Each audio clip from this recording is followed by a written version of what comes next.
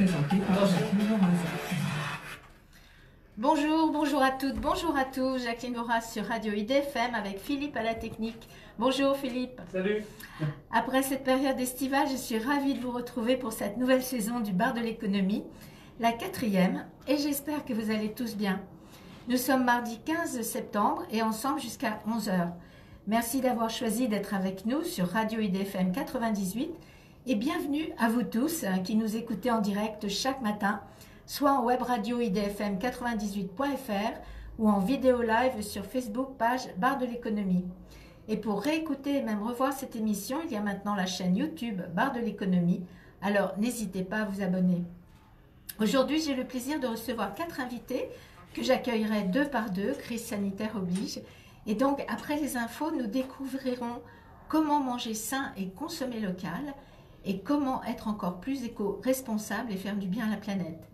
Et pour présenter ces deux premiers thèmes, avec nous, Émilie Vandekis. Bonjour Émilie. Bonjour. Émilie, je rappelle que vous êtes vice-présidente déléguée à l'handicap au conseil départemental du Val d'Oise, mais ce matin, vous êtes parmi nous car depuis plus d'un an, vous êtes aussi la fondatrice d'une entreprise, la Fourmilière 95, nous avions déjà eu le plaisir de découvrir avec, vous cette nouvelle activité. Et aujourd'hui, la fourmilière 95 fourmille plus que jamais. Et nous avons bien sûr hâte d'en savoir plus. À vos côtés, Valérie Tchekhov. Bonjour Valérie. Bonjour. Vous êtes cofondatrice avec Nathalie Sigouagne d'une start-up empreinte d'avenir, une entreprise destinée à commercialiser des produits éco-responsables. Et là aussi, nous sommes impatients d'en savoir plus sur votre activité. Mmh, mmh. Vers 10h15, Émilie Vandekis et Valérie Tchekhov, euh, vous nous quitterez pour laisser la place aux deux invités suivants qui nous rejoindront alors dans le studio pour nous présenter comment tirer avantage des réseaux que l'on soit chef d'entreprise, salarié ou demandeur d'emploi et comment se faire accompagner de façon innovante dans l'éducation ou la formation. Deux invités qui sont Thierry Varlet, responsable développement commercial, et Jordan Paquet, chef d'entreprise de Tilips, une agence de formation innovante.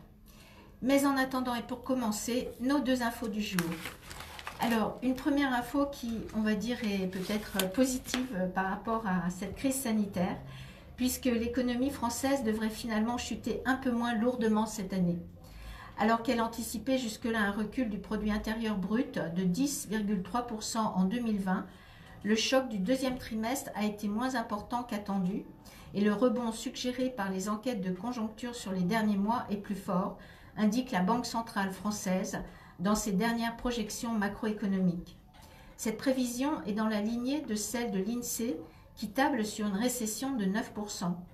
Cette année, plus optimiste que celle du gouvernement qui anticipe un recul du PIB de 11%, même s'il a prévu de réviser prochainement ce chiffre. La Banque de France table ensuite sur un rebond du PIB de 7,4% en 2021, puis une croissance de 3% en 2022. L'économie retrouverait ainsi son niveau d'avant-crise dès début 2022, soit un peu plus tôt que ce qu'elle anticipait jusqu'ici. En parallèle, elle a également revu à la baisse l'impact sur l'emploi de la crise engendrée par l'épidémie de Covid-19. Si le chômage va bien grimper cette année avec environ 800 000 suppressions d'emplois et un taux de chômage qui pourrait atteindre 11% en 2021, plus de 700 000 emplois seraient recréés en 2021 et 2022. Toutefois, elle précise que ce scénario reste sujet à d'importants aléas du fait des, incertitudes sur l'évolution de l'épidémie, évidemment, mais aussi de l'issue des négociations sur le Brexit.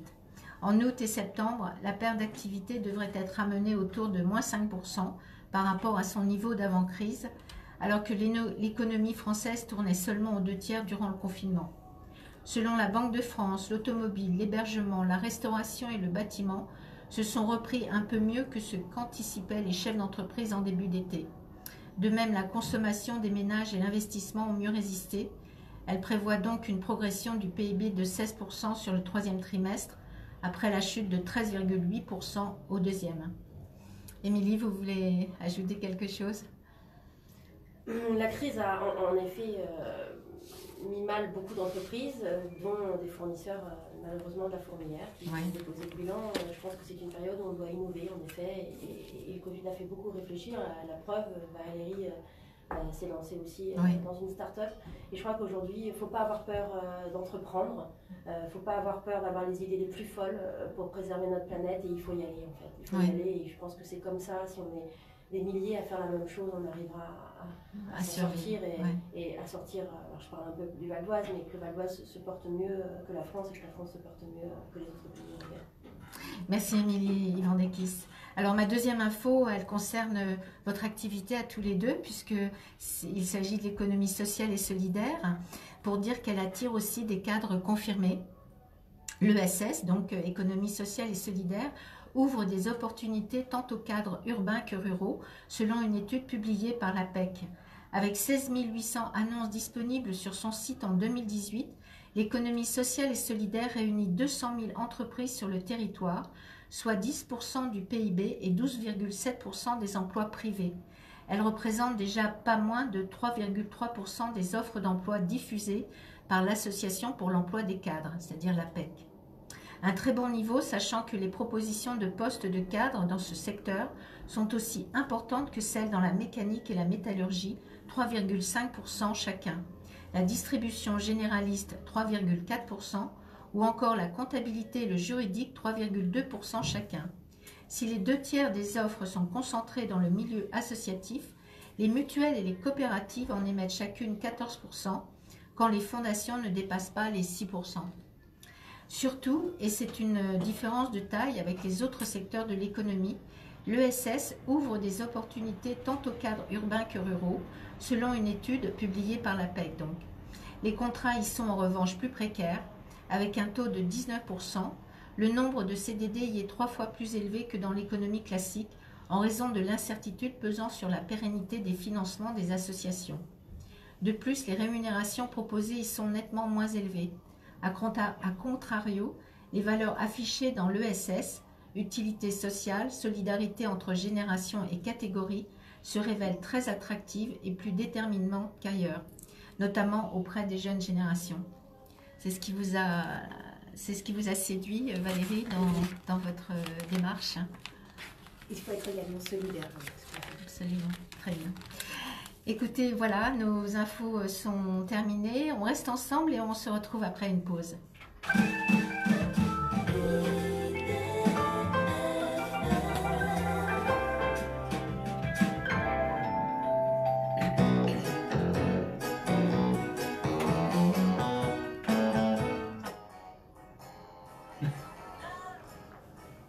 Je suis obligé de baisser sinon. Oui. YouTube. Ah, c'est Facebook. C'est quoi le morceau là? Alors ça, c'est pas tout jeune, c'est Captain Antenil. Captain? Antenil. Et Tenil. Captain Antenil. Non, c'est vieux ça. Ah bah c'est vieux ça. 68. C'est ce que j'allais dire, 68. C'est 60. Milieu 70. Bah, à force d'écouter. Ah bon, j'ai eu peur. Il y a, il y a, aussi, hein. il y a des morceaux où on, bah oui, on, connaît, bah, bien sûr. Il y a un truc très intéressant, là, une étude qui est sortie sur la musique, là, chopée, je sais plus, sur le poids, Oui. qui disait que la musique avait un effet euh, important sur euh, le moral de la Ah, jeunesse, bien sûr, et absolument. pas mal. euh, Bah, moi, je sais que je suis, des j'ai besoin de musique. Ah, ben, hein, moi, euh, je peux pas m'en passer. Il y a des chercheurs et tout. Il faut des morceaux positifs. C'est ça, bah, il disait, voilà, c'est ça. ouais. Le matin, il faut des trucs. Ça, c'est non, c'est frais, c'est. Voilà. Moi, je suis pour. euh, Après, là, je mets Tahiti qui, me c'est. Même si c'est de la merde, c'est. C'est entraînant. c'est- Voilà. c'est positif. Ce que je voulais te demander, c'est quand euh, Émilie et Valérie sortiront, enfin au moment de sortir, je Oh ferai rentrer les deux autres pour faire la photo. Donc tu me mettras un morceau un peu plus long, On que j'ai le temps. Hein Oh, L'exploit. 7 minutes. Ça va la photo, non.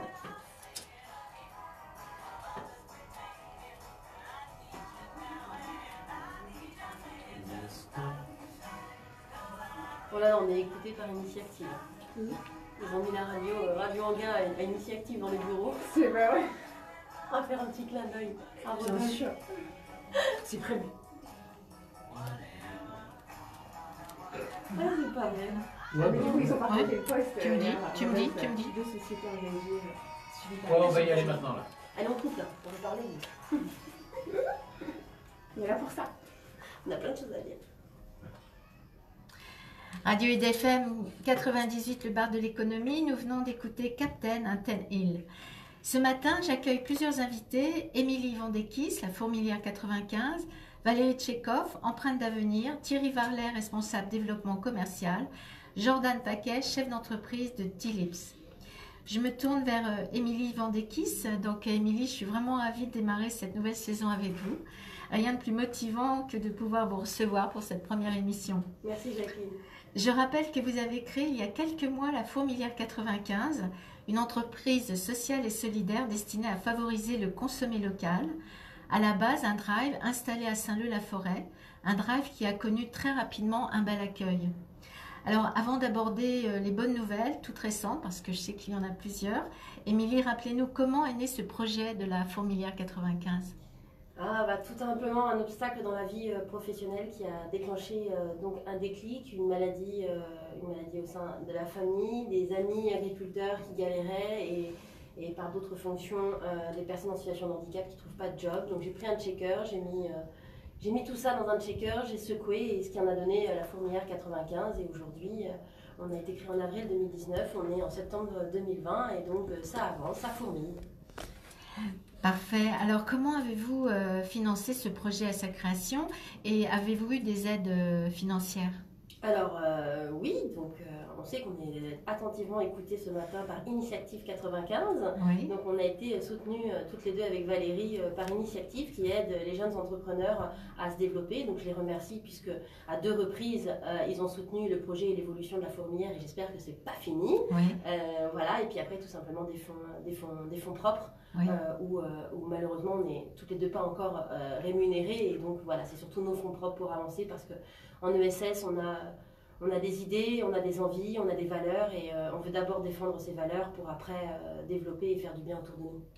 Alors, c'est vrai que vous avez raison de citer Initiative 95 qui sont toujours très, très, euh, très actifs. hein. Je- moi, je les remercie aussi parce que beaucoup de mes invités sont, sont aidés par cette euh, association. une belle famille. Oui, Mm. absolument.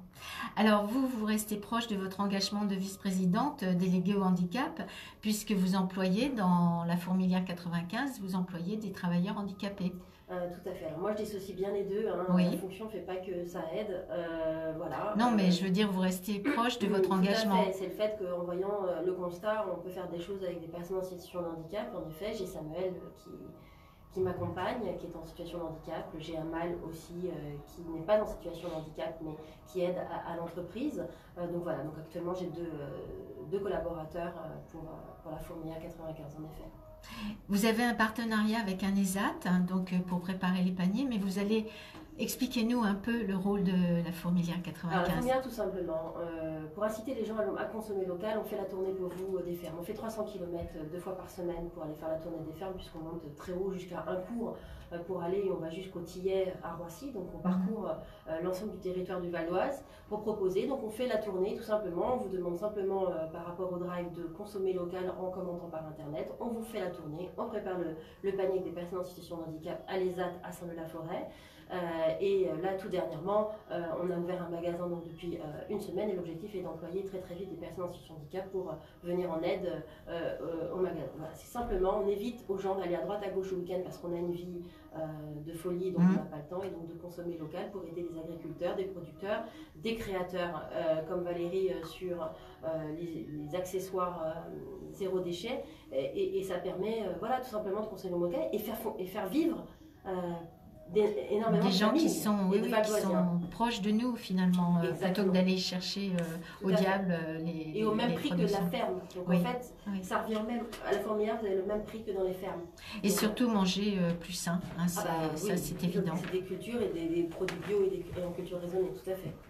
Alors donc pour, euh, pour préparer euh, ces, ces- ces- comment ces denrées que vous allez chercher.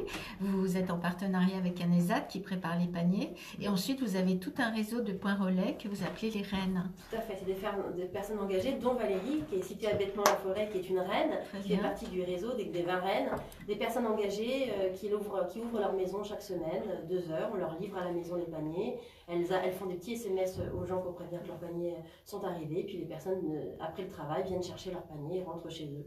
Voilà. C'est à la fois un réseau. La, la fourmière est une grande famille. Mmh, Quand on mmh. prend les agriculteurs, les créateurs, les, les reines euh, et les fourmis qui sont les clients, euh, voilà, on est une, une, très grande famille. C'est ça, et ça permet aux, aux, gens qui sont euh, proches des reines de, de pouvoir euh, se. Bah, de manger local, c'est-à-dire qu'on a un point où on fait la tournée des fermes dans chaque commune. On a 20 communes, qui, 20, 20 reines, donc 20 communes dans le Val d'Oise, et donc on, recherche bien sûr toujours des reines et on a plein d'idées. quoi.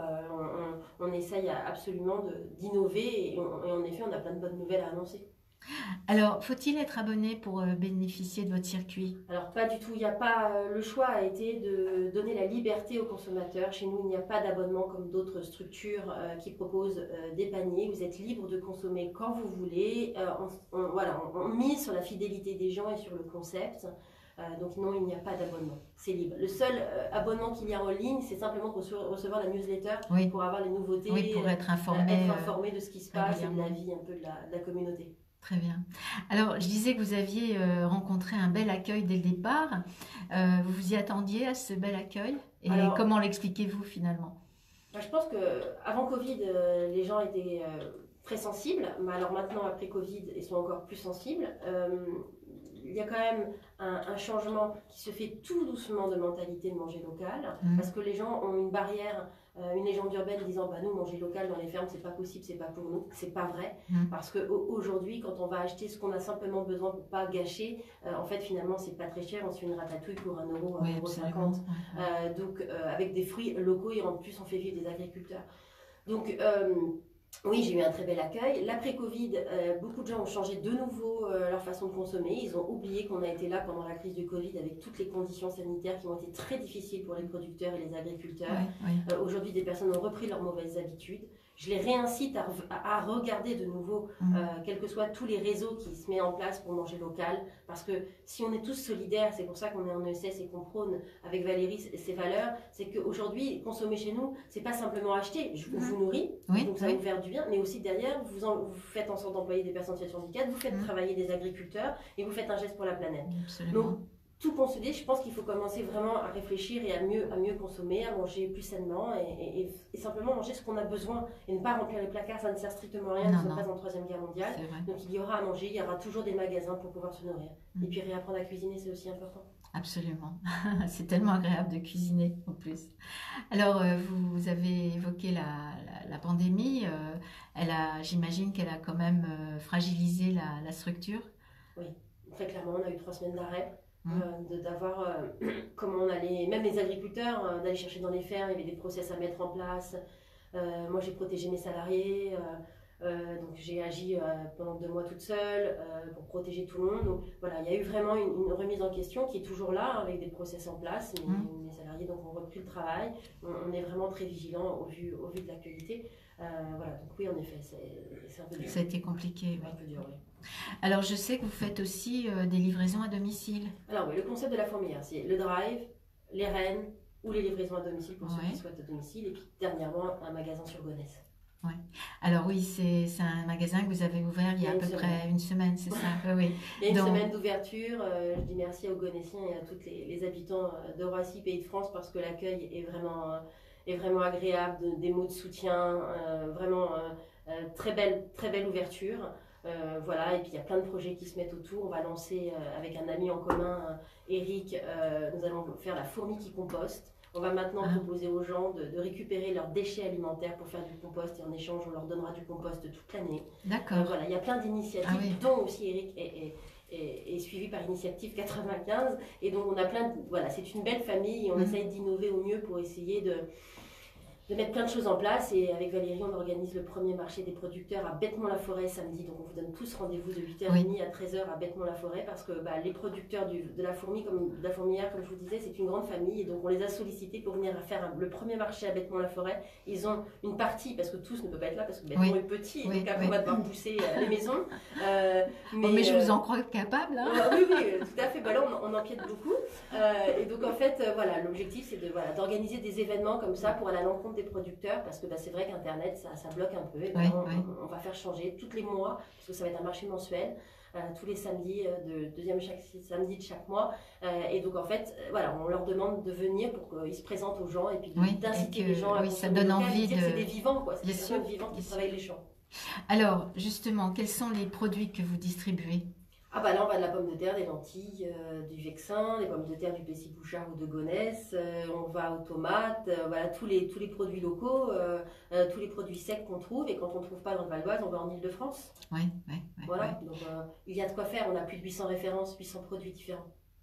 Alors, vous avez une autre bonne nouvelle à nous annoncer. la semaine dernière, que s'est-il passé? La semaine dernière, on a été enfermé tout le mercredi à la région Île-de-France. Euh, nous sommes passés devant un jury et nous avons gagné le prix euh, spécial des, du public. Donc je remercie les auditeurs. Euh, et les amis, et le réseau, et les fourmis, et, les agriculteurs, parce que voilà, on a été, on a explosé les compteurs. Une première, a priori, au vu, on a plus eu 2700 likes sur notre projet, et donc voilà, on a été, on est lauréat de, de ID Food 2020. Oui, donc ça, vous, ça ne vous donne que, des, que des, de, l'énergie supplémentaire pour, euh, pour continuer, c'est clair. Tout à fait. Alors, vous disiez que cette crise sanitaire euh, semble créer de nouveaux comportements. Euh, au niveau des circuits courts, c'est-à-dire vous, vous sentez que les gens, enfin vous disiez non, que justement ils sont en train de perdre les bonnes habitudes. Avant, avant, le Covid, il y avait des gens qui étaient incités cette... C'est vraiment important de dire, mais c'est accessible à tous, vraiment, le, manger local est vraiment mm. accessible à tous. Déjà ça, c'est une première chose. La deuxième chose, le Covid a renforcé parce que les gens ont plus le temps de cuisiner. Et on, proposait vraiment un réellement drive, on n'avait aucun contact. Donc ils ouvraient leur coffre, on leur mettait dans le coffre, donc ils n'avaient aucun contact avec nous. Le déconfinement a fait que les gens ont repris leur habitude et, sincèrement, nous avons perdu. C'est dommage. On a perdu beaucoup, beaucoup, de paniers. Ce qui est malgré malgré la newsletter. Et... Malgré la newsletter, malgré le manque de temps. Alors c'est vrai qu'il y a des contraintes. La contrainte est de commander avant lundi 19h, mmh. mais mmh. parce qu'il faut que j'ai le temps dans la nuit de donner les commandes aux agriculteurs. Et eux, ils coupent euh, le mercredi matin euh, ou le jeudi matin pour certains. Donc euh, ils préparent les commandes mercredi et jeudi matin. Donc il faut quand même laisser le temps aux producteurs de, préparer les commandes, puisque c'est du frais euh, du jeudi matin. donc euh, voilà, on ne peut pas faire autrement, il faut leur laisser le temps aussi de se préparer. Donc voilà, j'incite vraiment les gens à revenir, à, regarder, quel que soit le, concept, les AMAP, les, tout ce qu'il y a autour de nous, euh, de consommer local, parce que je vous assure que c'est vraiment pas ah cher quand, on, hein. voilà, quand on, commande et on mange ce qu'on a simplement besoin. C'est tellement meilleur. et oui, tout à fait. Alors aujourd'hui, comment envisagez-vous le futur? alors, bah, lancer le magasin, euh, employer très vite des personnes en situation de handicap pour venir en aide euh, à la fourmilière. Euh, il y a deux, deux, autres gros projets, trois autres gros projets sollicités par des communes avoisinantes. Euh, voilà, donc on est en train d'étudier, euh, de trouver d'autres partenariats et d'inciter les gens à créer des entreprises comme Valérie. Donc Valérie va rejoindre la fourmilière en tant que fournisseur. Euh, elle est reine, mais elle sera aussi fournisseur. Donc voilà, il y a plein de choses comme ça. Il faut qu'on innove, qu'on soit solidaire et qu'on voilà, et continuer les marchés. voilà, d'essayer d'inciter. De, la priorité, c'est d'inciter les gens à manger local et de faire vivre nos producteurs et, d'employer des personnes en situation de Vous recherchez donc de nouveaux partenaires? Alors, je recherche toujours des nouveaux partenaires parce qu'il faut toujours de la nouveauté. Je cherche des gens qui ont envie de s'engager auprès de la fourmilière et qui, qui, est en situation de handicap et qui veulent venir travailler avec nous. Euh, voilà, oui, oui, toujours, toujours. Il faut toujours innover, il faut toujours avoir donné envie de découvrir parce que tous les jours on découvre de nouvelles choses dans le Val et les producteurs, on l'a bien vu sur ID Food mercredi dernier, euh, on innove tous les jours. La preuve, il y avait euh, deux jeunes hommes euh, qui euh, se fournissent dans le Val d'Oise et qui font des produits euh, déshydratés mais avec toutes leurs vertus dans une technique bien spécifique, qui sont en train de lancer leur start-up et ils vont rentrer dans la fourmilière aussi puisqu'ils vont faire devenir un test chez nous pour l'emballage parce qu'ils sont pas sûrs de leur emballage donc on va tester les fourmis sur leur emballage. Et, voilà donc c'est des choses comme ça et c'est des fruits issus de, l'agriculture du Val d'Oise. Donc voilà il faut innover, il faut consommer le local et soutenir tous ces jeunes, jeunes entrepreneurs à, à les aider à à continuer, et voilà, avec plein d'initiatives comme ça. Alors, euh, malgré cette crise, est-ce que vous avez euh, des offres d'emploi à proposer Oui, tout à fait. Oui. Alors, Donc, des euh, personnes de handicap qui souhaitent venir s'investir auprès de nous, voilà, avec plaisir pour tenir à Gonesse, au Drive et, et pourquoi pas d'autres, imaginez avec les autres projets qui arrivent. Alors, à quelle adresse peut-on vous joindre pour ces offres euh, d'emploi contact arobase lafourmilière95.com. Et il y a aussi des stagiaires. Je sais que les étudiants euh, ont énormément de difficultés à trouver des stagiaires en cette période de crise sanitaire auprès des entreprises. Euh, voilà, la fourmilière est prête à accueillir des jeunes qui cherchent des stages de tout niveau, vente, administrative, pour voir un peu explorer le monde de l'entreprise et surtout des jeunes en situation de handicap ont encore plus de difficultés à trouver des stages. Oui, Donc stage et emploi, contact arobase lafourmilière95.com.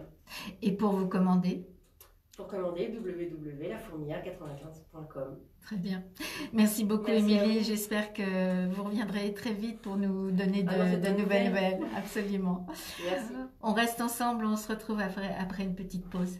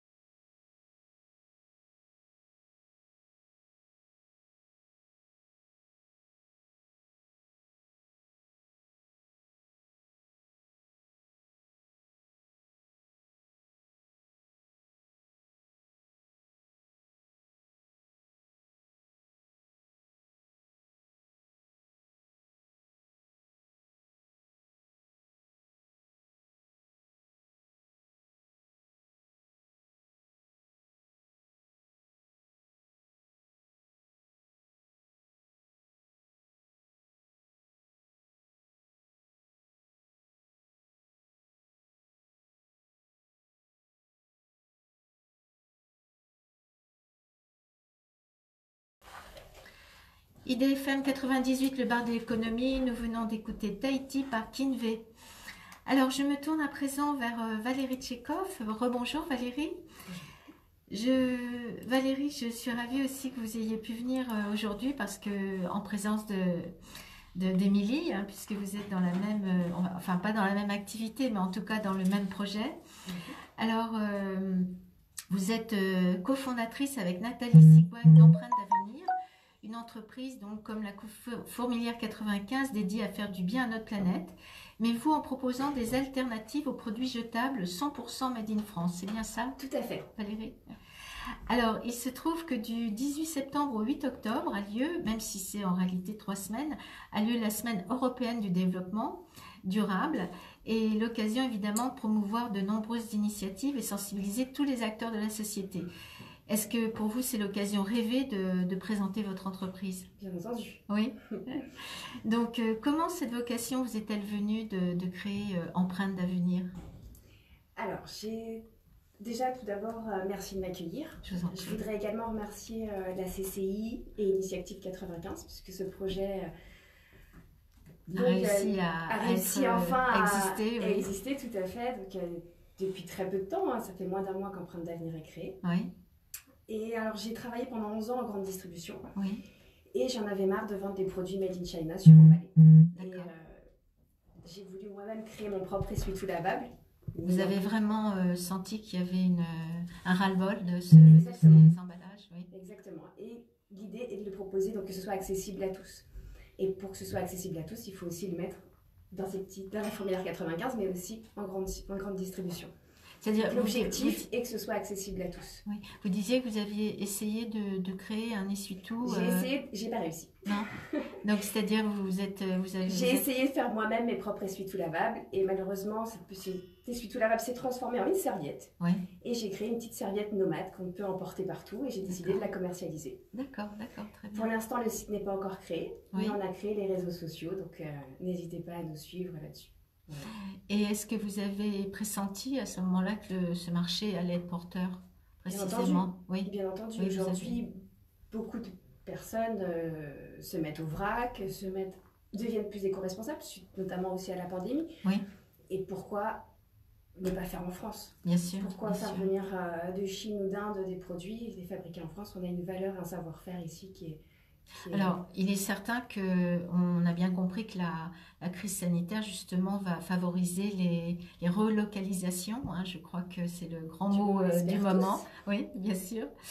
Et donc, vous avez euh, évoqué Initiative 95 euh, et la, et la CCI. Alors, mm-hmm. quel investissement, de quel investissement avez-vous besoin pour cette création? J'ai suivi un programme qui s'appelle le programme Émergence oui. Initiative 95, qui est justement pour ces sociétés à impact, pour ces sociétés engagées, donc qui ont réussi à m'aider pour mon étude de marché, qui m'ont aidé pour justement définir cet impact, et également après pour le financement. Bien sûr. donc j'ai vraiment eu ils m'ont soutenu dans le projet et c'était un vrai bonheur et je suis continue à être suivie par, par eux pour mon plus grand plaisir. Alors vous venez également de rejoindre la turbine à Sergi. Tout à fait donc un atout supplémentaire. Rappelez-nous comment euh, pouvoir se faire héberger dans cette communauté. Il faut passer en commission. Oui. Il y a une commission à partir du moment où on explique notre projet et après c'est selon les bons vouloirs de, de l'agglomération de Sergi et de tout le... Donc il faut, il faut quand même avoir un dossier bien solide, j'imagine. Il faut avoir un dossier bien solide, un beau prévisionnel, mais Initiative 95 nous aide à préparer également. Pour, euh, Bien sûr, bien sûr. Empreinte d'avenir, euh, d'où vient ce, cette, euh, cette euh, appellation? Alors une empreinte a plusieurs sens. Oui. Que ce soit l'empreinte digitale, l'empreinte carbone, notre empreinte dans l'avenir. Oui. Voilà. J'ai trois enfants et du coup, c'est vrai que je veux un avenir meilleur pour eux. Et du coup, nous sommes avec Nathalie empreinte d'avenir. Très bien. Voilà. Oui, c'est très beau comme, comme appellation. Alors donc vous visez à promouvoir des alternatives aux produits à usage unique qui peuplent notre quotidien avec une dimension 100% euh, solidaire, mais c'est une tâche euh, qui paraît insurmontable. Comment on, s'y attaque? Alors, pour commencer, on va faire, on a deux séries. En fait, notre démarche, elle n'est pas seulement éco-responsable, elle est engagée. C'est-à-dire qu'on a des petites séries. Les petites séries seront le tissu sera récupéré en centre de tri textile, confectionné par le chantier d'insertion à Conflans, Equalis. Oui. Et après, conditionné, j'espère, donc nous sommes pour parler pour un partenariat avec la Fondation John Bost, qui s'occupe de personnes en situation de handicap. Oui. Ça, ce sera pour les petites séries. Pour les grosses séries, puisque mon objectif est d'aller en grande distribution, on a trouvé un tisseur du côté de Lyon qui utilise des fibres recyclées, également issues aussi de bouteilles euh, plastiques récupérées en mer, et qui fait travailler des entreprises adaptées. Du coup, on est 100% français et 100% solidaire. Alors, vous avez déjà euh, contacté de la grande distribution? Un petit pour l'instant, on est encore, on vient d'être créé, les gènes codes sont prêts, on a les plaquettes qui arrivent. Je vous invite à nous rejoindre sur les réseaux sociaux, sur Facebook, sur Instagram et sur LinkedIn. Le site est en construction.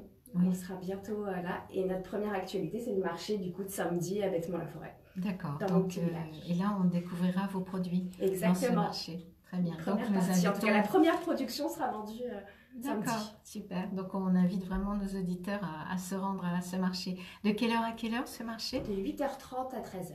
Très bien.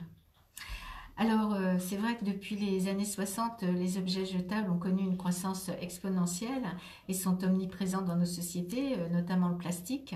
Est-ce que vous pensez que la bataille peut être gagnée? Elle ne sera pas gagnée.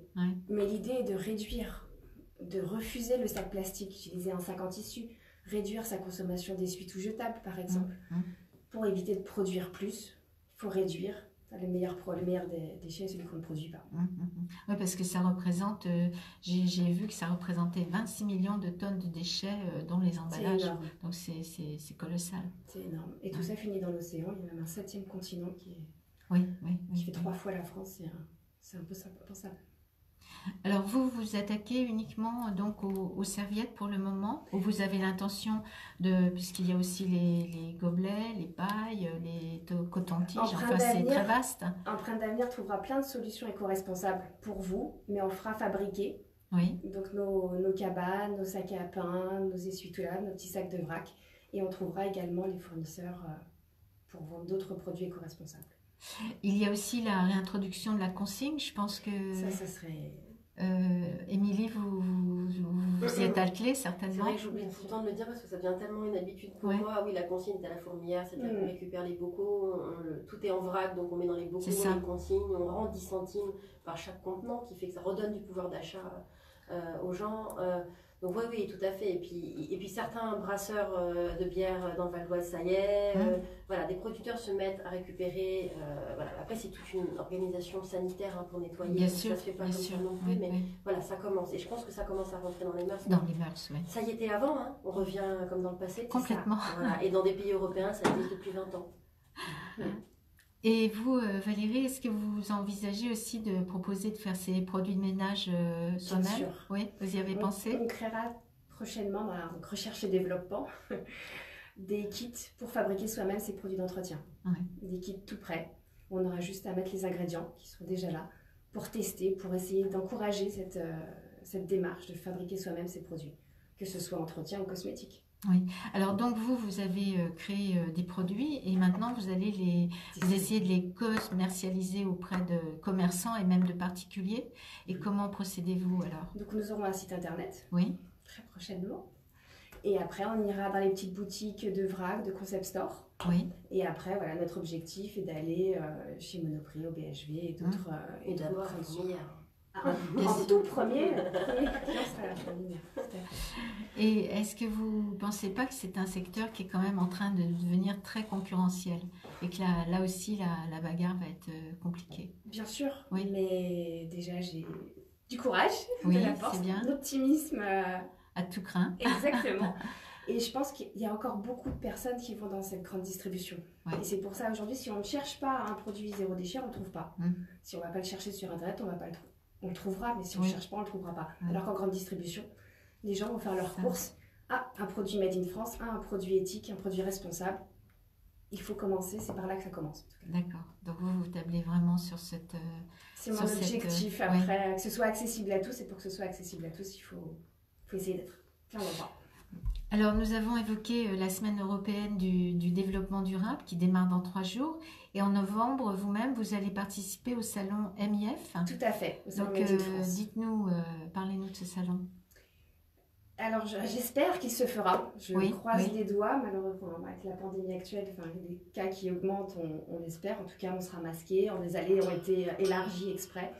Et c'est voilà, 100% made in France. Et c'est pour ça qu'on voulait y être. Je l'ai fait l'année dernière en tant que visiteur. J'ai fait l'année prochaine, j'y serai. et j'y serai. Et vous, Tout à fait. On a pris un, stand qu'on va aménager et on va proposer. Euh, à quel endroit ce salon? À Port de Versailles. D'accord, très bien. Voilà, le 6, 7 et 8 novembre. Très bien. Très bien, bah, écoutez, on ira vous voir également. Avec grand plaisir. Alors, si, euh, est-ce que vous avez des offres d'emploi à proposer? Peut-être pas, pas tout de encore, Pas encore. D'ici quelques mois, je l'espère. Oui, oui, oui, oui. Et si on veut vous joindre, euh, que faut-il faire? Alors, un mail Valérie, empreinte d'avenir, donc empreinte avec un S, empreinte d'avenir.fr. Voilà, vous pouvez me joindre. Et après sur les réseaux sociaux, Facebook, Instagram et LinkedIn. Très bien. Eh bien, écoutez, euh, nos, nos, auditeurs retrouveront ces adresses euh, via Facebook sans problème. Merci. Notre première euh, partie d'émission se termine, donc euh, malheureusement je vais, je vais devoir vous, vous quitter puisqu'on ne peut pas être plus de trois dans le, dans le studio pour, euh, enfin, plus de cinq avec, euh, avec Philippe et moi-même.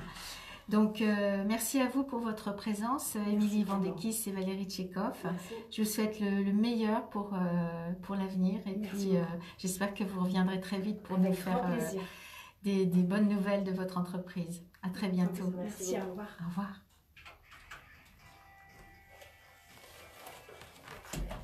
Voilà. Pour une première. C'était bien, mesdemoiselles. Merci. Comme d'habitude, vous, hein, au micro, ça Voilà. Ah bah vous. Ouais. Émilie, euh, on a... Chacune, je me permets du coup de vous faire ma petite serviette Merci, nomade Super, c'est à emporter adorable. partout dans son Merci sac. Super, super. Merci beaucoup. Au parc, au C'est jardin. Ah oui, elle est belle en plus. hein. C'est beau. Super. Merci beaucoup. Avec C'est grand adorable. plaisir. Merci. Une vous bonne journée. Oui. À bientôt. Au revoir. À bientôt. Et puis, euh, comme on dit, merde. Ouais, c'est ça. On n'a pas d'énergie. On va se la faire, c'est sûr. Ah oui, les garçons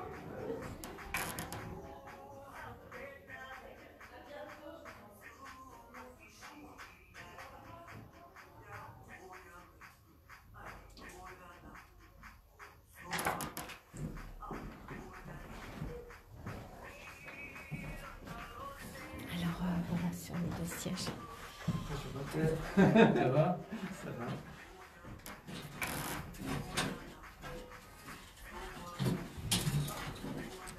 Ouais, c'est plus pratique. Oui. J'ai j'ai été obligé de fermer parce qu'il y a beaucoup de bruit là-bas tout à l'heure. C'est Jérusalem. Jérusalem. C'est le titre est Master KG en anglais. Non, bah, je dis Ouais, Jérusalem. ouais, ouais, Jérusalem. C'est le tube du moment. C'est le tube du moment. Ouais, bah ouais. Donc, vous pouvez mettre euh, vos cas- le casque. hein. D'accord. Pour le retour, c'est mieux.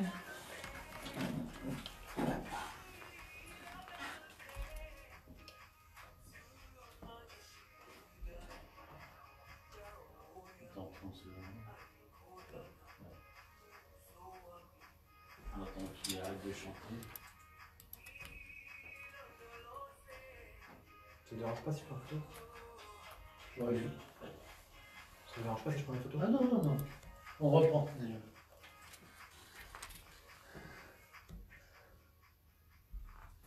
Radio EDFM, le bar de l'économie, nous venons d'écouter Jérusalem. Alors mes deux autres invités viennent de s'installer. J'accueille donc à présent Thierry Varlet. Bonjour Thierry. Ben, Bonjour Jacqueline, bonjour à tous. Thierry, vous êtes responsable développement commercial et aujourd'hui en recherche active d'emploi. Euh, parallèlement, vous êtes cadre coach bénévole à la Chambre de commerce et d'industrie euh, du Val d'Oise à travers le réseau Plateau. Tout à fait. Et ce matin, vous avez souhaité nous dire toute l'importance justement des réseaux, que l'on soit chef d'entreprise, salarié ou demandeur d'emploi. En effet.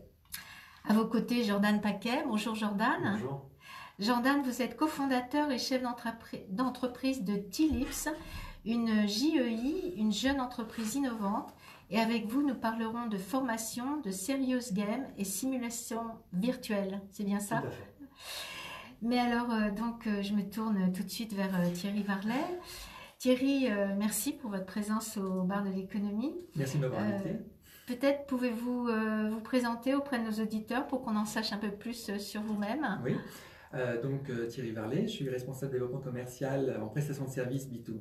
Oui, Euh, j'ai travaillé euh, dans ma carrière déjà 18 ans au sein du groupe ADECO, travail temporaire. d'accord. Euh, 10 ans d'agence, 8 ans à la direction des clients nationaux. Oui, et à la suite, j'ai travaillé 12 ans au sein du groupe 3 idées, qui est un groupe pour tout ce qui est intervention après sinistre, incendie, dégâts des eaux, événements climatiques. d'accord.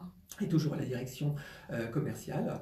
Euh, donc du coup, deux univers urgentistes euh, dans la prestation de service, comme je viens de dire, et toujours en B2B. Voilà. Très bien. Bien, aujourd'hui, donc, vous êtes en recherche d'emploi et euh, vous, vous Vous êtes conscient que le réseau est très important pour, pour ce genre de, de situation euh, Complètement. Enfin, le réseau est important euh, déjà pour, euh, pour tout le monde, qu'on soit entrepreneur, qu'on soit salarié ou demandeur d'emploi. le réseau professionnel est, essentiel pour bah, quand on est ne pas rester seul, quand on a quand on a des doutes en tant que chef d'entreprise, surtout avec la période qu'on a passée, quand on a des questions par rapport aux nouvelles lois qui, qui viennent de tomber. le réseau est là pour accompagner les chefs d'entreprise, qu'on soit salarié aussi par rapport à la formation aussi, parce que c'est essentiel. De euh, pouvoir échanger. De pouvoir échanger, de pouvoir trouver des formations qui peuvent nous correspondre aussi par rapport à des futurs projets. Je pense que la période de confinement qu'on a passée euh, courant avril, euh, enfin fin mars, avril, enfin toute cette période de confinement a fait que les gens ont eu cette, cette réflexion sur mon poste, comment je vois mon poste, comment je vais évoluer. Et puis, euh, et puis aussi, bah, quand on est demandeur d'emploi, euh, le réseau permet de garder un pied euh, dans le monde du travail, le monde économique. Ça, de ne pas être isolé. Voilà, de ne pas être isolé.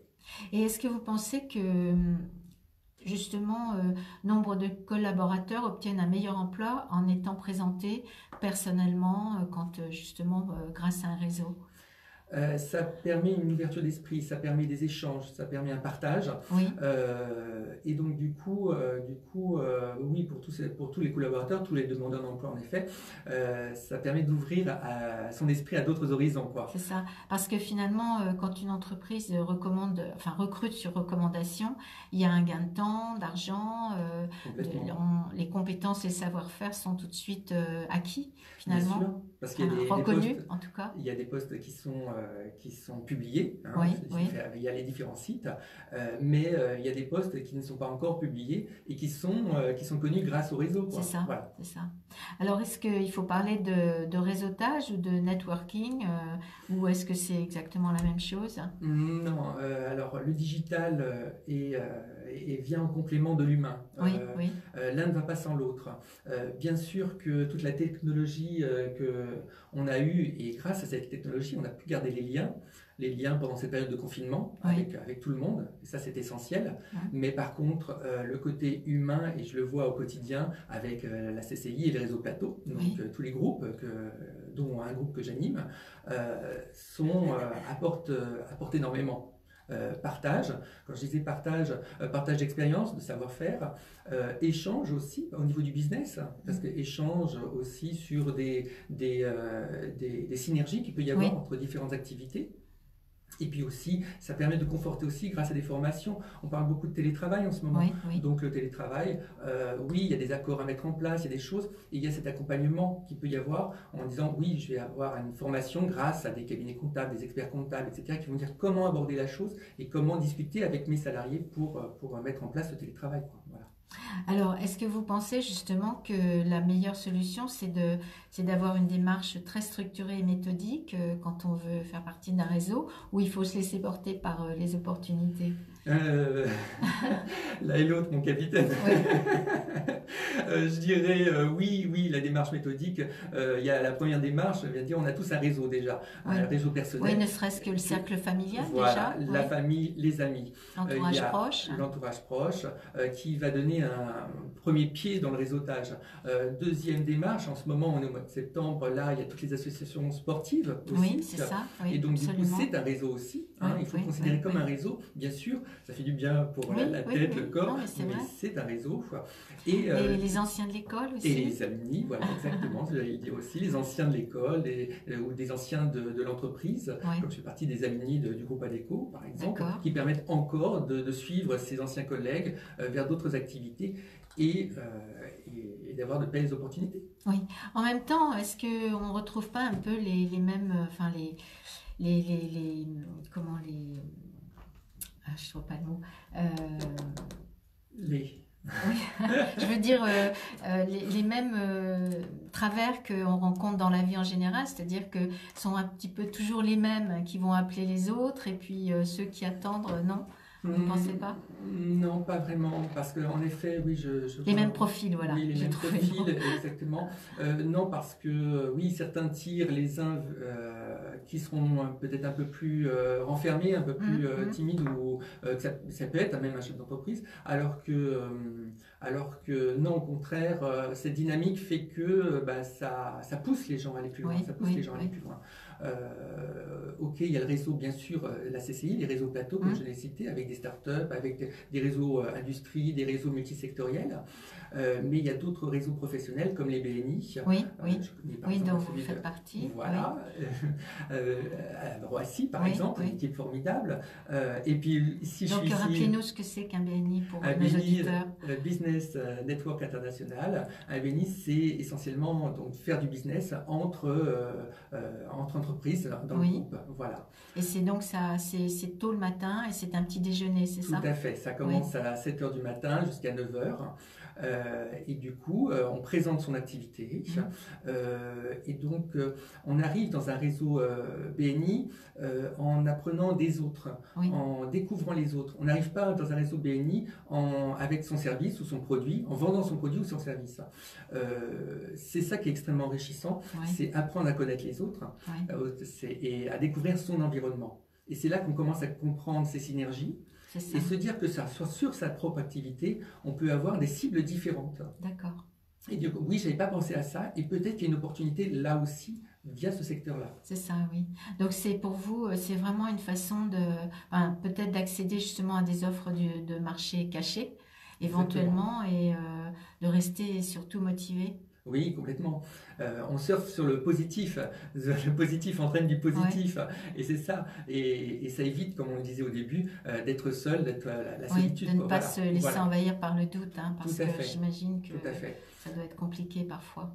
Je le vois par rapport au groupe de, la CCI. Les, thématiques qui sont choisies par les groupes retournent, tournent toujours autour de euh, les ressources humaines, le management, le commercial, euh, et puis aussi toutes les nouvelles lois qui tombent. Là, en ce moment, encore une fois, quand il y a eu euh, toutes ces lois qui sont tombées suite euh, bah, aux prêts garantis par l'État, etc., etc. Voilà, l'accompagnement. Oui, c'est ce qui doit être difficile parfois pour certaines personnes, c'est de c'est d'aller à l'encontre des idées reçues parce que certaines sont, sont timides, vont se mm. dire c'est une perte de temps, de toute façon c'est du piston, enfin voilà, il y a toutes ces... Euh, les stéréotypes, oui, euh, ils, sont, ils, sont nombreux. Euh, hein. ils sont nombreux. maintenant, il y a des valeurs et tout le monde adhère à ces valeurs. quand on fait partie d'un réseau, c'est la bienveillance. C'est-à-dire, comme je disais, la bienveillance et donc du coup écouter l'autre avant de se présenter soi-même. et puis le partage le partage. Euh, comme euh, avant de passer, j'ai partagé avec, euh, avec Jordan et on a trouvé aussi des, des, similitudes des, et des synergies pour pouvoir avancer sur d'autres projets. C'est sûr, c'est sûr, très bien.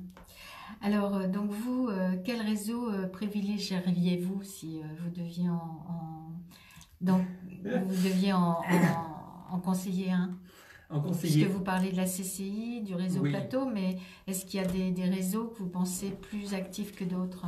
Il faut choisir le réseau professionnel qui vous correspond, euh, qui correspond à son activité. Parce que, bien sûr, j'ai parlé de la CCI, j'ai parlé du réseau BNI. Euh, il y a les réseaux qui sont euh, liés à l'activité professionnelle, à la fédération, tout simplement, de, Son, de, son corps de, de son activité. De son activité. donc, du coup, vous pouvez vous faire inviter dans tous ces réseaux voilà, pour tester. Et mhm. celui qui vous convient le mieux. Participer à des événements. Participer à des événements. Et puis surtout, il faut garder en tête une chose, et ça, cette façon, que ce soit en professionnel, personnel, avoir euh, un objectif. Qu'est-ce que va m'apporter, en fin de compte, qu'est-ce que je recherche en faisant partie d'un réseau? Qu'est-ce que je recherche? Est-ce que c'est développer mon business? Est-ce que je cherche à, à, me former? Est-ce mm. que je cherche, enfin voilà, quels sont mes objectifs en participant à des réseaux? Donc on revient à ce qu'on disait au début, avoir une démarche structurée et très bien, euh, très bien encadrée. Voilà. Alors vous, vous avez un rôle de cadre coach, hein, vous nous en avez parlé un petit peu, justement, euh, bénévole à la, à la Chambre de commerce et d'industrie du Val d'Oise à travers le réseau Plateau. Dites-nous euh, quelques mots de ce, de, cette, de ce rôle de coach ben, C'est passionnant. Euh, bon, je suis un passionné de toute façon. Vous êtes depuis combien de temps? Vous avez combien? Depuis, alors, euh, depuis septembre 2018. Ça, fait, euh, ça, fait deux, oui, ça fait deux ans. Hein. ça passe vite, ça passe très vite. Surtout bah, quand on a un groupe bah, qu'on suit depuis, depuis autant de temps. au départ, donc, c'est les accompagner. On est, c'est le réseau EPIC dans le réseau Plateau. et donc, sur des, des thématiques commerciales comme je souhaite, comme je disais au début.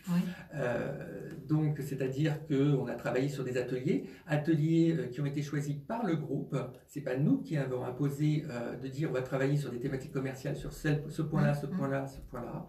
C'est le groupe qui a choisi, par exemple. vous avez dressé une liste de, de On leur a demandé quelles sont vos attentes par rapport à ce, à ce groupe. C'est un groupe de combien de personnes? Euh, D'une euh, quinzaine de personnes. Et qui sont ces personnes qui participent donc euh, Des PME, des auto-entrepreneurs, des... ils viennent d'environnements complètement différents. Oui. C'est ça qui est extrêmement enrichissant. Oui, voilà. Euh, et, puis, euh, et puis, on a une animatrice, euh, une animatrice aussi, qui fait partie aussi de la CCI, qui est là aussi pour coordonner tout ça. Bien sûr. Donc, et c'est à raison de. C'est quelle. la fréquence, la fréquence c'est une fois par mois. Donc, ils ont une réunion le soir. Là, c'est de 18h à. normalement, c'est de 19h à 21h, la réunion. Mais il y a une on va dire, un avant, et puis un après aussi. Quoi, voilà. Et je pense que là, j'en reviens à tous les réseaux, c'est que euh, contrairement à, à, des réunions sur Zoom, sur, euh, sur Skype ou peu importe, euh, il y a une réunion le physique. contact humain il y a le contact humain. Et il y a le contact humain quand on se retrouve, on échange, et surtout après aussi, parce qu'on prolonge les discussions. D'accord. Et vous avez, euh, vous, enfin, je veux dire, il faut s'inscrire à ce, parce que comment, si nos auditeurs veulent participer à cette. Ils se rapprochent de la CCI du Val d'Oise. Euh, réseau plateau, PLATO, attention, pas comme un plateau. Euh, oui, oui, PLATO. PLATO. il y a tous les groupes qui sont affichés sur le réseau plateau et ils peuvent avoir tous avec les les, les jours, les horaires. Et... avec les jours, ils peuvent trouver exactement. Il faut s'inscrire en amont ou bien on peut se présenter directement le jour On peut venir et être invité. Voilà voilà, exactement. Euh, s'il y a un groupe euh, industriel, s'il y a un groupe start-up qui intéresse euh, mmh. un auditeur, il peut appeler directement la CCI et se faire inviter voilà, pour voir un petit peu de quelle manière ça se passe, de quelle manière on aborde les choses et la thématique qui a été choisie par les membres du groupe. Très bien. Il y a une participation financière? Euh, oui, il y a une participation financière. Alors après, elle varie suivant les groupes, suivant la durée du, groupe. Quand on est sur euh, un, groupe avec des entrepreneurs euh, expérimentés, on va dire, on part sur une durée de deux ans. Oui. Et puis des fois pour les startups, par contre, c'est plutôt sur trois mois. Euh, ou jeunes entreprises, plutôt sur une période de trois mois. Mhm. Voilà. Donc après, le tarif varie en fonction de la durée, après avoir avec chacun des groupes. D'accord, très bien. Alors vous, euh, puisqu'on ne peut pas échapper à la question, euh, comment avez-vous vécu le confinement? Eh bien, euh, au départ, euh, la période la plus difficile pour moi a été les 15 derniers jours de mars. Ah euh, après l'annonce de notre président, c'est vrai que ben, tout le monde était perdu, parce que c'était de façon unique. Hein, c'était un petit peu. et moi, situation hors norme. Hors norme. Mmh. Et moi qui brassais énormément, qui brasse énormément de contacts, du coup, du coup, le téléphone n'a plus sonné, il n'y avait plus de mail, il n'y avait plus rien, parce que tout le monde était perdu. voilà. Euh, et, je dois dire que bah, grâce à mes contacts, euh, un grand merci euh, bah, à Nathalie Ferreux qui était justement venue ici, absolument, qui m'a invité à connaître le réseau BNI de Roissy. Et c'est grâce à, à ce moment-là que vous l'avez Voilà, et c'est en visio que j'ai pu commencer à participer tous les vendredis matins pendant cette période de, confinement à, leur équipe. Quoi. Voilà, Donc du coup, ça a été des contacts, ça a été des échanges. Une bouffée d'oxygène. Exactement, une bouffée d'oxygène parce que euh, on a on, a continué à maintenir le lien avec ce qui se passait sur le terrain. Quoi. Voilà, ce que subissaient un petit peu les, les, les entreprises. Je comprends. Alors euh, aujourd'hui, vous, est-ce que vous avez envie de faire une annonce pour, euh, pour nos auditeurs, euh, pour les encourager à rejoindre un réseau? Ben, L'annonce, c'est de allez-y, foncez, quoi, foncez complètement parce qu'il n'y a que du bénéfique à, à, tirer d'un réseau. Quoi. Quelle que soit sa situation, pas forcément parce qu'on est en situation de recherche d'emploi. Hein, Exactement, entrepreneur. Au contraire, des fois, peut-être que j'ai envie de dire, les demandeurs d'emploi sont même des fois plus actifs qu'un entrepreneur qui, qui est noyé, euh, il va dire j'ai pas le temps, je suis noyé sous, et ce peut se comprendre par rapport à toutes les charges entre ses salariés et tout ce qu'il a traité en ce moment, mais au contraire, au contraire ça va l'aider dans ses démarches au quotidien et comme je disais par rapport à, à, tout ce qui tombe par rapport au, niveau législatif. Bien sûr. Voilà. Merci beaucoup Thierry pour votre témoignage et votre expérience. Et puis, euh, je, vous revenez nous voir quand vous voulez. Merci. On fait une nouvelle pause et juste après, euh, on reprend l'interview avec euh, mon quatrième invité, Jordan Paquet. Bien, ça a été, bah oui, très bien. Ça a été Est-ce que ça va les questions Oui, oui, oui. S'il y a des choses que j'ai oubliées, vous me dites, on revient.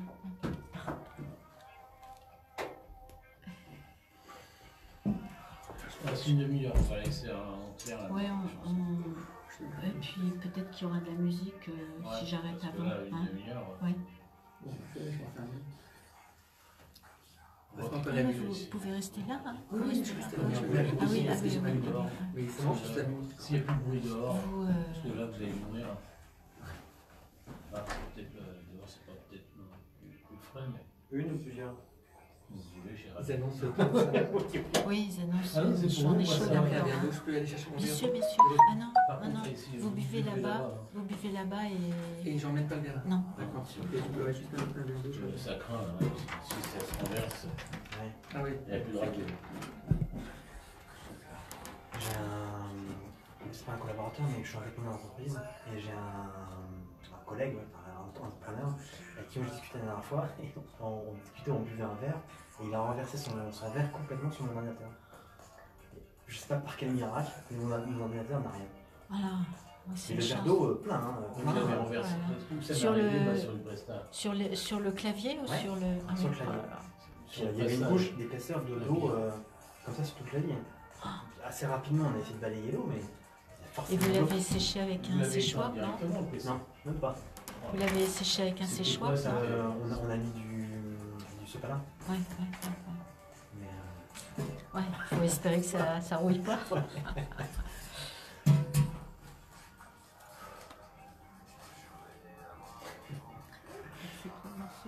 C'est euh, Benjamin Violet. Oui. Comment est ta peine? Comment est ta peine, peine? La mienne, elle est comme ça.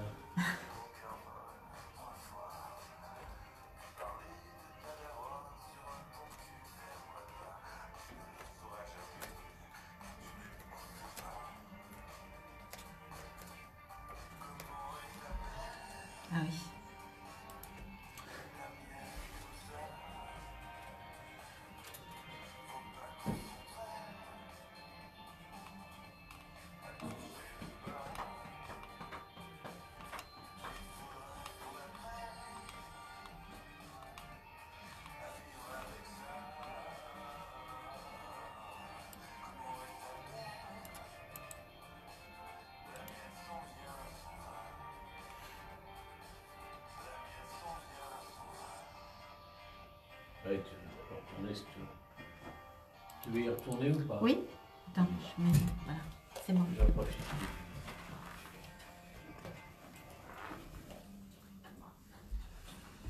Radio IDFM, le bar de l'économie, nous venons d'écouter Benjamin Biolay, Comment est ta peine? Ce matin, je reçois Thierry Varlet, responsable commercial, développement commercial, pardon, et Jérôme Jordan Paquet, décidément, Jordan Paquet, chef d'entreprise de Tilips. Alors, euh, Jordan Paquet, désolé, je vous rebaptise ce matin. Donc, bonjour. Euh, je rappelle que vous êtes cofondateur et chef d'entreprise de Tilips, euh, une entreprise dédiée à l'éducation ou la formation selon des méthodes innovantes et dans le cadre de, votre, euh, enfin de notre partenariat avec euh, la Chambre de commerce et d'industrie du Val d'Oise, je suis ravie de vous accueillir ce matin. Alors, ma première question, pourquoi Tilips hein, Pourquoi ce nom Alors pourquoi TELIPS Deux raisons, puisque donc, effectivement on, travaille dans le domaine de l'éducation et de la formation, mais principalement par le digital. Et TELIPS, en fait, c'est donc un acronyme. Alors on dit TELIPS, on dit pas oui, d'accord pour technologie ludique, immersive, pédagogique, programmée et stimulante. D'accord. Mais il y a aussi un double sens, puisqu'en fait, TELIPS, c'est un hommage aussi à Théodore Lips, qui s'écrit de la même manière, et qui est un philosophe du 19e siècle qui a travaillé sur l'empathie. L'empathie qui est la qualité première des formateurs et des enseignants. Ah oui, bah écoutez, c'est aller chercher très loin, mais c'est bien de, connaître euh, cette, euh, cette définition finalement. Ouais. Alors, euh, vous avez créé cette entreprise en mars 2018. C'était une évidence pour vous de, de, créer cette entreprise? Tout à fait.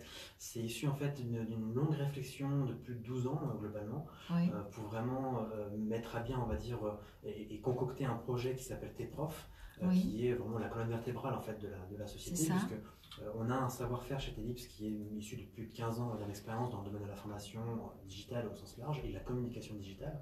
Euh, et personnellement, j'ai eu l'occasion dans mon parcours de formation de, préparer le, concours du, CAPEPS pour devenir professeur de PS. Et c'est à cette occasion en fait que euh, j'ai eu la possibilité de me rendre compte qu'il y avait des petites problématiques dans le cursus de formation des enseignants. Et la, une des réponses, en tout cas, que j'ai c'était de créer un simulateur euh, pour compléter les stages euh, et notamment permettre à toute personne qui veut devenir enseignant de se faire une idée de ce qu'est un élève et de, de, savoir quels sont les gestes professionnels qu'il doit développer pour optimiser sa relation enseignant-élève. D'accord, donc vous avez toujours eu cette, cette, cette arrière-pensée finalement de, créer une entreprise. Parce que vous-même, vous êtes ingénieur, je crois, en télécom, c'est ça? Je suis ingénieur pédagogique multimédia.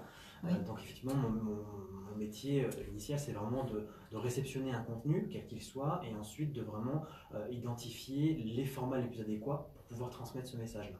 D'accord. Euh, après, la partie multimédia fait que effectivement, je me suis moi personnellement spécialisé dans tout ce qui est e-learning et service game, donc vraiment des, formats plutôt ludiques euh, pour transmettre un message. On va en parler. Alors, vous avez développé un nouveau produit, donc T-Prof. Est-ce que c'est T-Prof qui a, qui a fait que T-Lips existe ou le contraire? Alors, c'est tes profs qui fait que Télix existe, effectivement. Euh, puisque, comme je le disais, c'est vraiment une réflexion euh, de longue haleine de, de, mon côté pour vraiment euh, avoir attendu le bon moment, j'ai envie de dire, pour justement me, lancer dans l'aventure. Mhm. puisque donc précédemment, j'ai eu l'occasion de, m'expérimenter dans d'autres entreprises pour justement monter en compétence sur des notions qui sont liées à l'entrepreneuriat. Mhm. et puis une fois que je me suis senti prêt, ben là, on s'est vraiment lancé avec, pour motivation première, vraiment de, de, faire naître tes profs et de le faire évoluer sur le long terme, puisque c'est vraiment une, un produit qui aujourd'hui existe, mais qui euh, euh, vraiment se construit euh, étape par étape, parce qu'on est vraiment dans le domaine de la recherche. Qui ne cesse de s'améliorer en fait. Oui, On est vraiment un processus d'innovation sur, sur, le long terme. Donc, tes profs, c'est quoi? C'est une application? Alors T-Prof, c'est une application, effectivement c'est un outil euh, numérique qui permet euh, donc à, toutes les personnes qui veulent devenir enseignants de pouvoir euh, se retrouver face à des élèves virtuels. D'accord. et directement ah de pouvoir communiquer avec, avec, avec des élèves, donc de tout âge, entre guillemets, puisqu'on passe de la maternelle jusqu'au CM2, mhm. tous, les, les degrés. et donc c'est l'objectif, c'est vraiment de pouvoir, par rapport à un objectif pédagogique, de de mener à bien une, une séance de classe mhm. euh, et de, bah, en fonction de ce qu'on va dire aux élèves, de qui on va interroger, de, de comment ça va se dérouler, de voir si effectivement euh, les élèves ont euh, appris quelque chose, si la séance, la séance s'est bien déroulée, si sur le plan humain aussi ça s'est bien passé et on n'a pas frustré un élève par exemple qui aurait pu poser problématique quelconque dans, son processus d'apprentissage. Mhm. Voilà, on, on, aborde tous les aspects pédagogiques vraiment de, de la relation ou de, de l'acte d'enseignement versus tout l'aspect didactique qui lui est vu dans la formation initiale. Donc on vient vraiment en complément, c'est très important, on vient vraiment en complément de la formation initiale sur des choses qui ne sont pas forcément euh, traitées euh, euh, à l'université. Alors, est-ce qu'on est dans un jeu de rôle et virtuel, c'est ça Absolument. On, joue le rôle de l'enseignant et mhm. donc à partir de là, à nous de, bah, prendre la parole mhm. en direct avec des élèves virtuels qui bougent vraiment à l'écran. Ils sont tous en face de nous et donc on peut vraiment s'exprimer devant eux et ensuite ils ont chacun, parce qu'on a une intelligence artificielle qui, qui régit, on va dire, le, le, comportement de chaque élève, et donc chaque élève réagit en fonction de sa propre personnalité et son propre ressenti par rapport à ce qu'on a pu dire. Donc ça peut effectivement partir un petit peu parfois dans tous les sens. L'objectif c'est justement d'arriver à, trouver la, bonne, la bonne empathie, puisque c'est important pour vous. Mais donc ça se... Est-ce que c'est, c'est par exemple c'est une application qu'on achète que, et que l'on a chez soi et que, qu'on utilise comme on veut, ou bien vous donnez des cours Comment ça se passe? Alors il y a deux, deux possibilités. La, la, possibilité principale sur laquelle nous on avance le plus, c'est vraiment un travail avec les universités, donc avec les INSPE, on appelle ça. Euh, donc c'est les universités qui forment les, les, les, futurs enseignants, donc avec une licence 3, Master 1, Master 2, principalement Master 1, Master 2.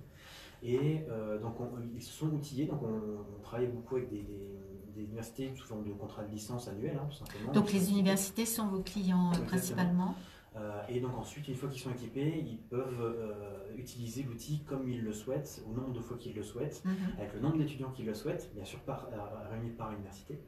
Et puis ensuite, donc là, tes profs est généralement mis en application avec un enseignant formateur qui, dans la salle, quand on est en présentiel, parce que aussi, là on est en plus sur la partie distancielle, mais les, deux sont, sont, faisables puisqu'on est sur un outil numérique. Mhm. L'enseignant formateur a vraiment un rôle de garant quelque part de, d'assurer un fil conducteur et surtout d'assurer un suivi euh, pédagogique par rapport à ces futurs enseignants qui se posent des questions en temps réel, même sur le simulateur, parce qu'on est face à des situations qui sont très réalistes euh, et sur lesquelles même les, les, les, futurs enseignants, généralement on les regroupe par binôme ou par binôme pour réfléchir à des situations en commun et se dire bah, c'est un peu comme oui, pouvoir se poser des questions l'un l'autre. En fait, c'est un peu comme si on était devant une classe et qu'on pouvait, on a un petit bouton pause on se retourne derrière nous et on a un enseignant, on dit bah voilà, qu'est-ce que je fais euh, euh, comment, ça, comment je peux rattraper la situation Est-ce que c'est rattrapable Ainsi de suite. Et puis ensuite, on remet lecture et puis on, avance avec une nouvelle stratégie. C'est un petit peu le, le, point fort de, tes profs. Hein, d'accord, d'accord. Le deuxième point, c'est un point où, enfin, c'est la deuxième stratégie, on va dire, c'est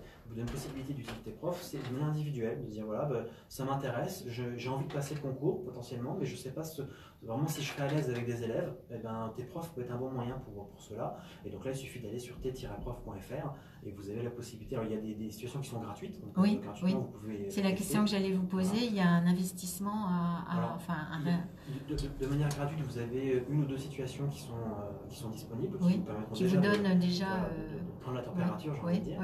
Et puis ensuite, si vous voulez aller plus loin, euh, vous avez des modules à 5 euros ou à 10 euros. D'accord, oui, c'est des, des, sommes très. Voilà très, très abordable. Très abordable. Bah, on s'adresse aussi à des étudiants, donc euh, on fait aussi en fonction de leur budget.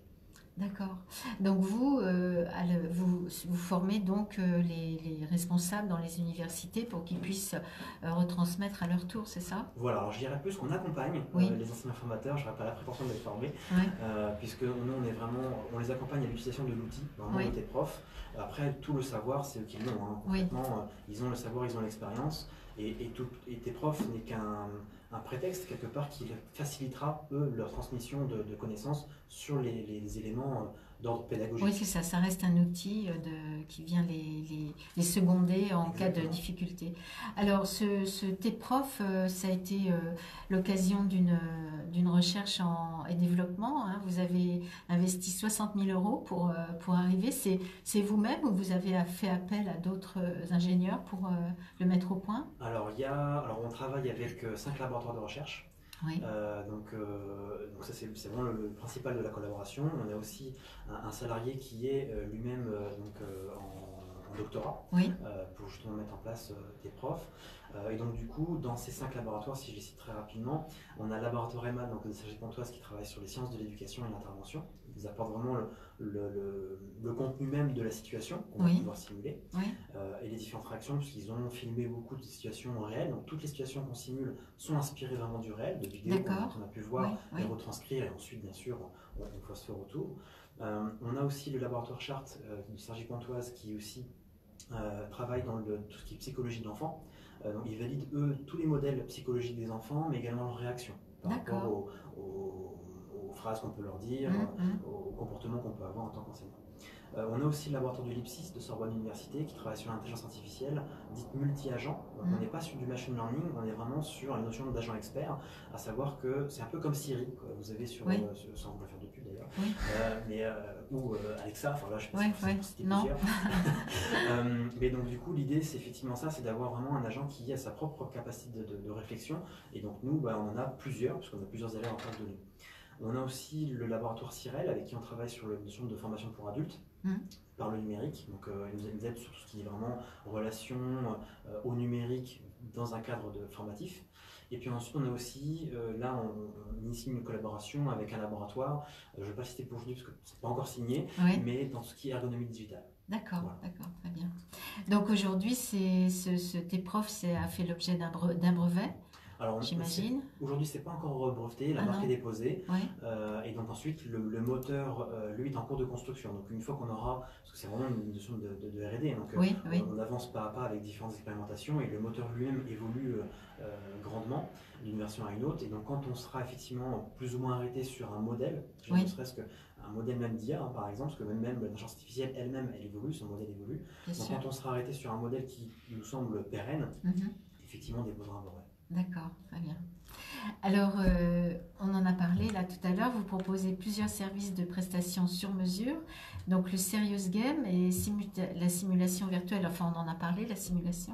Mais le Serious Game, euh, expliquez-nous un peu euh, plus précisément. Alors, effectivement, donc le, Serious Gaming, c'est une, de mes grandes spécialités. J'en fais depuis, depuis 15 ans.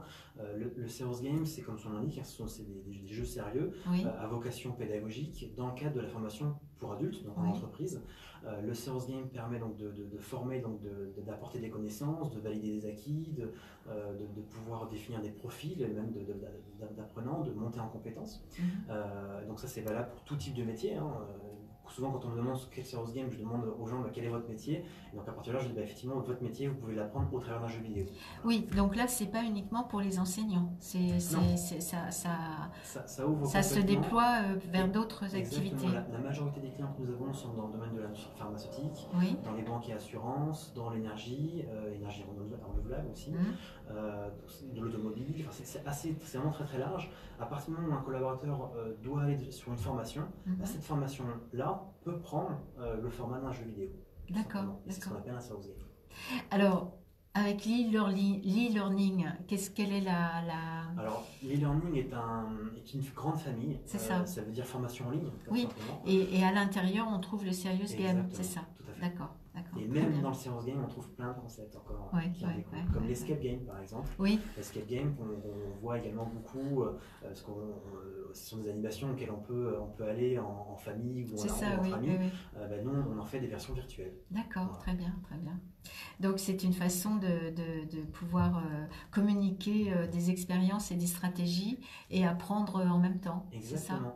Alors dans le domaine de la formation, c'est plutôt porteur parce qu'effectivement ça, ça, répond aussi à une demande euh, de, ben, générationnelle, hein, tout simplement, où, les nouvelles recrues sont de, plus en plus jeunes et, plus euh, demandeurs de ce genre de, format, euh, pour vraiment essayer de dynamiser un petit peu, de moderniser l'ensemble des contenus de formation qui peuvent parfois être un peu compliqués à, diffuser, à transmettre, ou en tout cas susciter la motivation chez, chez l'apprenant. Et on sait que la motivation est quand même assez importante quand on veut vraiment rendre les apprentissages le plus durables possible.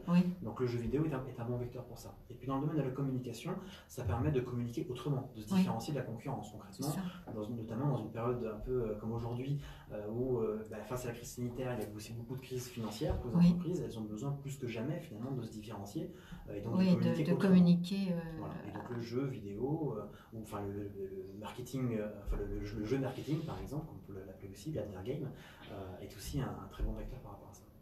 Et donc, vos, euh, les, les personnes qui, qui, ont accès à ce genre de, de, de, jeux euh, sont-ils, enfin, est-ce qu'il y a vraiment une catégorie euh, d'âge ah. particulièrement? Pas du tout. J'ai eu l'occasion de faire bah, plus de 150 projets de serious game dans, ma carrière aujourd'hui, et donc j'ai réussi à couvrir par opportunité, hein, tout simplement, à la fois des, des, publics très jeunes, mais également des publics en EHPAD, par exemple, pour lutter contre Alzheimer.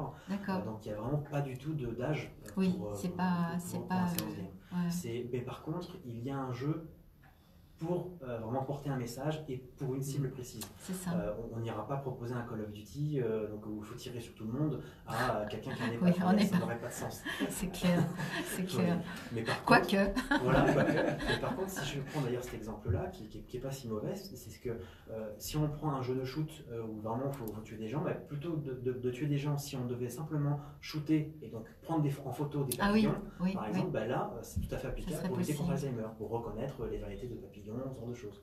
voyez, on transforme, si vous voulez, vraiment des mécaniques qui peuvent être connues et très répandues en quelque chose de vraiment utile, qui a du sens, tout simplement, pour la cible à laquelle on s'adresse, soit dans le domaine de la formation ou de la communication.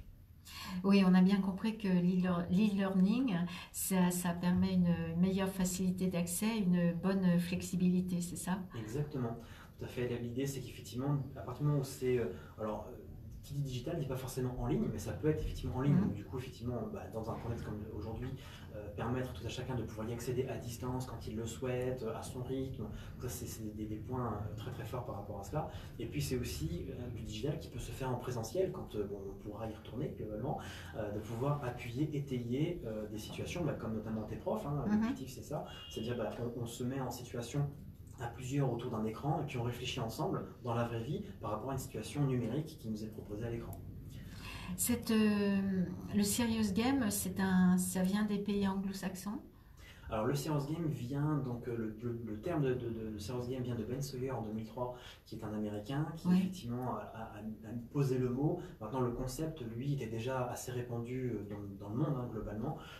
dès qu'on a vu apparaître les premiers jeux vidéo, hein, globalement, on a déjà eu des premières dérives vers le domaine de la formation, en tout cas vers la communication de valeur au travers de, de, jeux vidéo. Donc on, après, c'est à quel moment on pose vraiment l'existence de Ah, bah là c'était effectivement utile, pas utile, donc là c'est du game ou pas. après, c'est un débat en soi, mais effectivement, le, terme lui-même vient de 2003 et le, terme, lui, est arrivé en France en 2005 à peu près. D'accord, oui, donc ça fait déjà euh, pas mal d'années quand même. Alors, vous, vous dites que le Covid-19 vous a touché euh, à retardement. Vous aviez euh, six projets de clients qui ont été abandonnés pour cause de fragilité. Euh, donc, quel, euh, enfin, j'imagine qu'il y a eu un, impact sur votre chiffre d'affaires, votre trésorerie.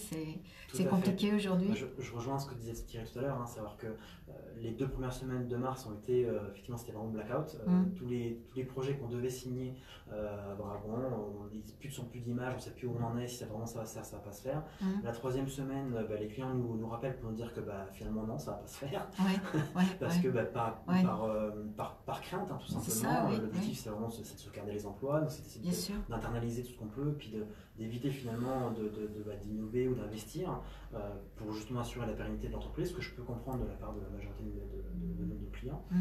Euh, et effectivement, ça s'est traduit par euh, donc, six projets qui, ont été, qui ont été abandonnés pour un montant de 250 000 euros, ce qui n'est ah quand même mmh. pas négligeable pour une entreprise comme, comme la nôtre.